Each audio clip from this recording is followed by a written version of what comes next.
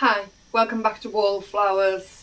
So today we're going to make a recipe called scouse. Now scouse, S-C-O-U-S-E, is a recipe uh, more familiarly known to Liverpool and the Merseyside area. Um, and originally it used to be called lob scouse so basically, um, they used to take the leftover bits of meat, carrots, potatoes, onion, and form together and make a stew that was called lob scouse. Now over the years, uh, originally it used to be a meat, a lamb that was used, which was lamb was cheaper cuts and it was more readily available for less finances and it would just be the leftover bits that were used to make the lobscouse and over the years the recipe has been more refined and now it's more popularly made with beef. Um, and that's the version I'm going to make today. I'm going to make it with beef. Um, but because it used to be called lobscouse there are other forms of the recipe that have gone to other parts of the UK, shall we say. Um, so in the Liverpool Merseyside area, it's basically cut down to be called scouse. In the Wigan Manchester area, it's actually cut down and called lobbies, and they still use cheaper meat to make it. It's one of the cheapest recipes you can make. And they use corned beef rather than lamb, rather than beef, rather than anything else. They use corned beef um, and a tin of corned beef will go a long, long way in a pan of lobbies. But as I say, today we're actually making scouse with beef. So recently I got my beef quite cheaply. Um, it should have been £4 and the portion I've got here worked out for me as I bought a bulk buy at £2.80. So I got £4 worth of meat for £2.80. I'm just going to put some oil in a pan just so I can baste the meat and seal it off. Excuse me, Mr. Walpole. Just light my pan and pop in the beef.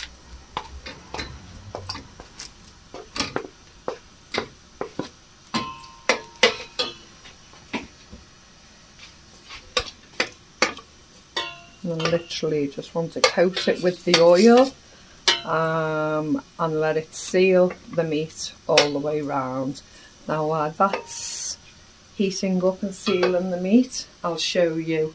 Um, I've actually got potatoes on uh, pre-cooking. Now when we make a pan of scouse we don't normally pre-cook the vegetables, we bring it all up together and cook it together. but there's a reason I'm doing it this way. So the potatoes I'm using, let me just put my glasses on. The potatoes I'm using, I actually water bath them in August of 2022.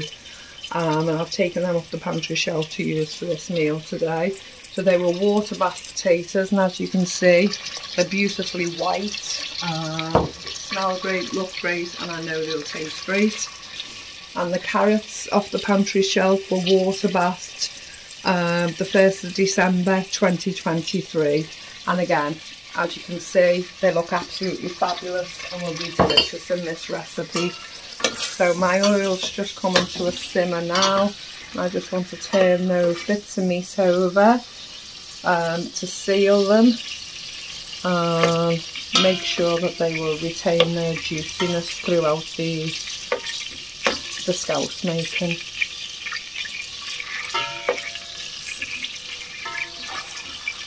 Now you will see I've put what looks like quite a lot of oil in there but I also want to seal the vegetables as well once they're slightly cooked through. Um, and that's how I do it. Come on, turn over. This lump doesn't want to turn over. I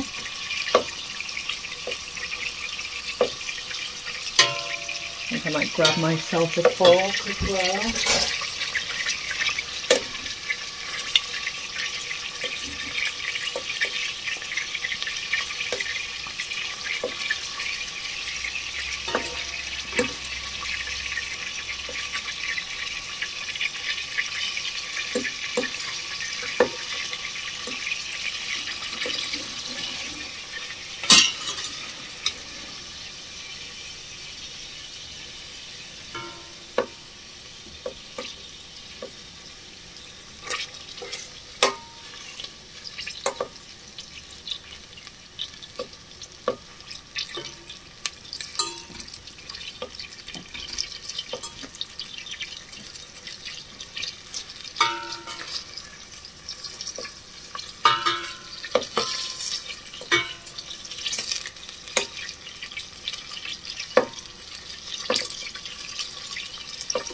And when I used to have my cafe, I used to make both versions of this. I used to make the Scouse version and the Lobbies version.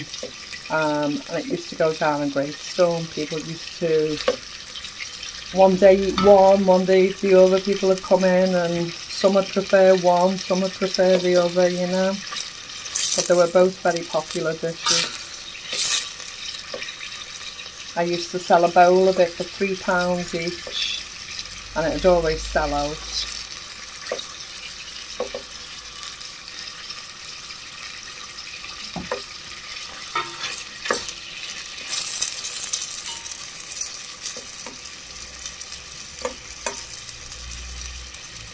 I'm just going to take this off the heat and leave to one side until my vegetables are ready. Leave that there. So, get my onion ready. As I say, I'm not cooking those potatoes and carrots through, um, but when you water bath the potatoes and the carrots, um, when you come to cook with them, they take slightly take slightly longer um, to cook through to the soft texture that we're used to. So I'm just giving them a head start. So by the time I'm prepped and all ready to go, they'll be ready.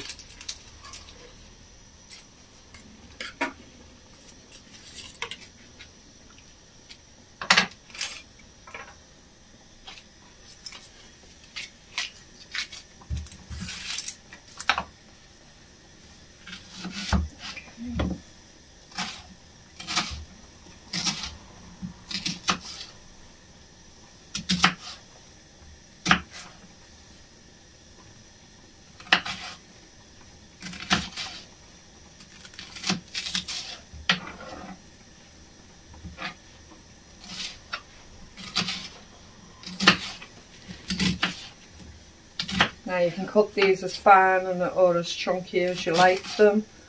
We just kind of do middle of the road so they're all splits up into individual slices anyway.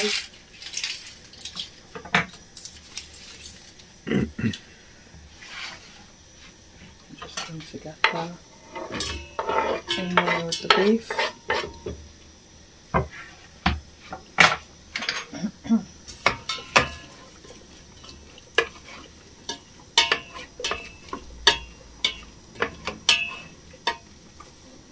Already. Mm -hmm. Okay, now the herbs I'm choosing to um, use today are rosemary, oregano and sage. Now the rosemary and the sage, um, the sage is out my back garden. I dehydrated it and powdered it and that's in there. The rosemary was bought in a basically there was no it was actually free. There was two rosemary plants going free because um, they'd withered slightly and no one was buying them. And I picked off um, what was good from the leaves dehydrated them and powdered them and kept them and the plants are now in the garden so I'll have them each year to use. But that was salvaged from dying plants basically and what good leaves were left. Forever frugal. Um, so yeah they'll go in 10-15 minutes before the end um, just so we keep the nutrients from the herbs and don't boil them boil them to death in the stew basically in the scouse. So I'll add them for the last 15 minutes and I'm just going to add a couple of beef stock cubes as well. So I'm just waiting for those vegetables. I'll give them 10-15 minutes um, for a head start and then we'll come back and put it all together and get it going Okay, so the potatoes and carrots are cooked sufficiently enough for me to add in. Again, I only cooked them extra time and because they were water bathed. So I've removed the beef from the onions and the oil and I'm just about to add in the vegetables. Now you will see in the pan behind I also have some sprouts cooking I'm not actually adding that into the scouse. It's just that Mr. Wallflowers would like some on the side. He'll add his into when it's cooked.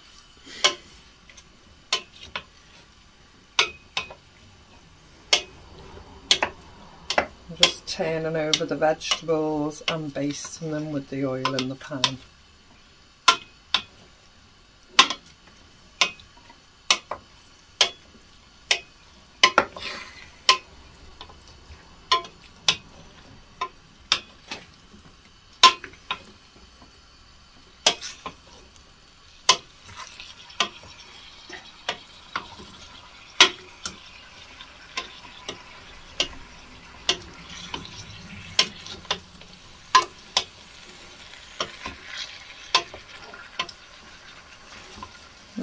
Absence coated slightly. Don't need to seal them. I'm just literally basting them with the oil.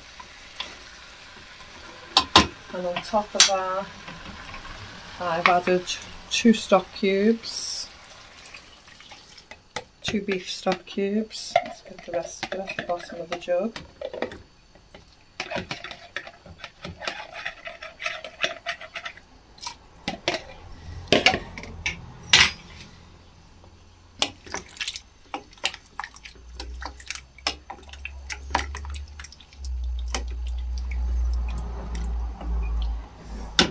I'm going to add the meat back in. Don't want it to splash everywhere.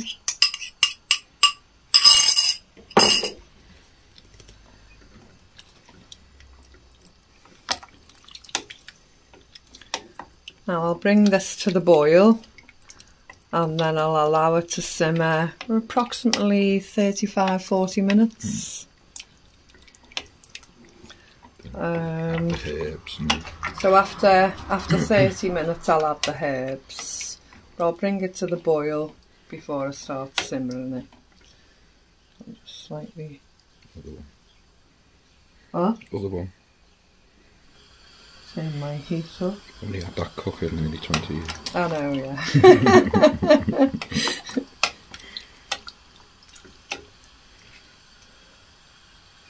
could have actually cut those chunks of beef slightly smaller, but hey ho.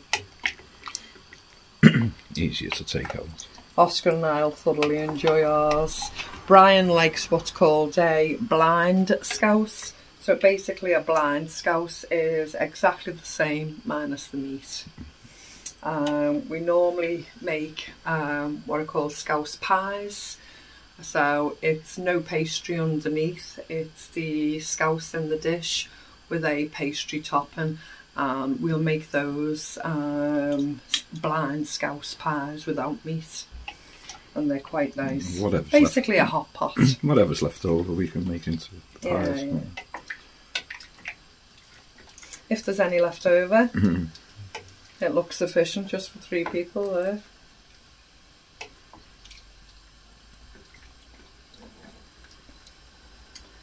So as I say, I'm going to bring that to the boil, then allow it to simmer for 30 minutes, and then I'll add the herbs. I'll come back then.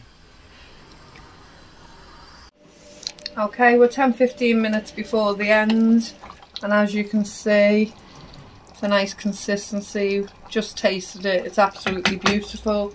I just slightly want to add a little bit more water to eke it out, so just to cover it is enough and I'm actually going to add the herbs. So I've got half a teaspoon of sage,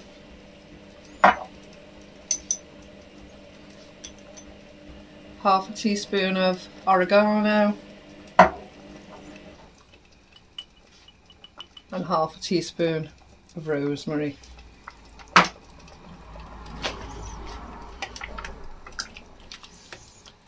And I'm going to let that continue to simmer for another 10 to 15 minutes and then we shall get to serve it.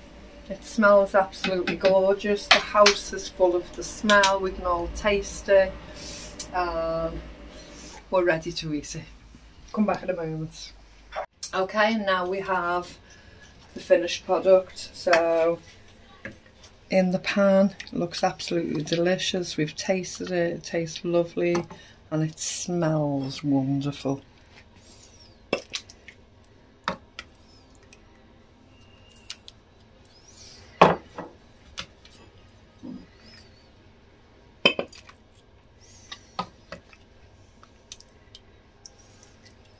As a little girl, my dad would have had the biggest bowl in the house. He would have got the biggest serving, and everyone else would have just got a normal serving, but dad would have had the biggest bowl in the house.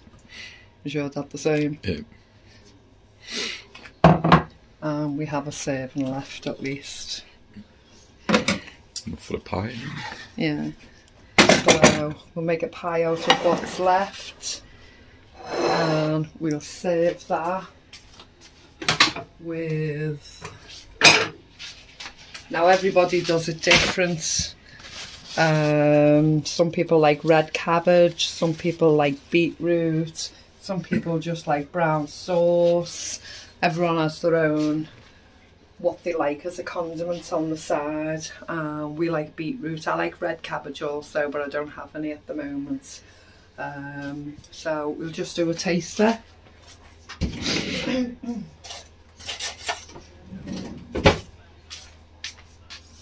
As I say, Mr. Wallflowers won't actually eat the meat.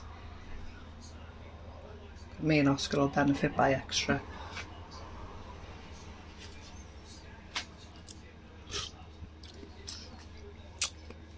Good.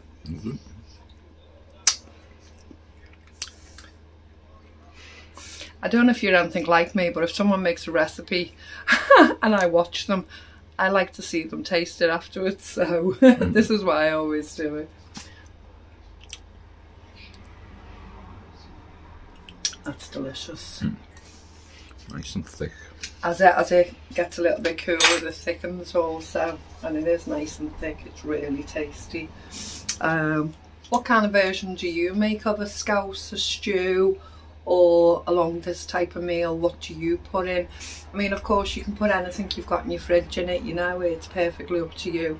But this is what we call a traditional scouse. Okay, thank you so much for joining us today. Stay safe, remember you're loved, and we'll speak to you soon. Bye bye.